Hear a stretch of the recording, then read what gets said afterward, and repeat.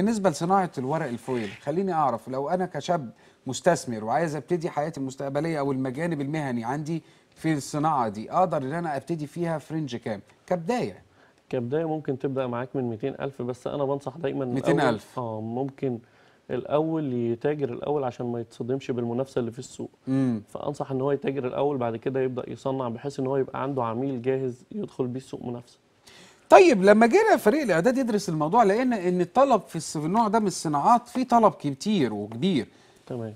هل خليني أسألك بشكل صريح هل في نوع من أنواع المخاطرة بتواجهك؟ يعني هل الموضوع بالنسبة لك risky ولا لأ بيبقى فيه ضمان كويس؟ لأ هو الموضوع بفضل الله فيه ضمان كويس. هو بس ال ال طبعا ال foil امم آه، سعره بيتحدد كبورصة عالمية. امم آه، سعر البورصة ده ممكن يبقى فوق ممكن يبقى تحت ده حسب العرض وطلب. فممكن مثلا إحنا نتفق على كمية كبيرة 200 طن 100 طن آه، النهارده سعره مثلا وصل 3 200 دولار تقريبا. آه، لو اتفقنا على 100 طن أو 200 طن لو البورصة نزلت بنواجه عقوبات في السوق طبعا.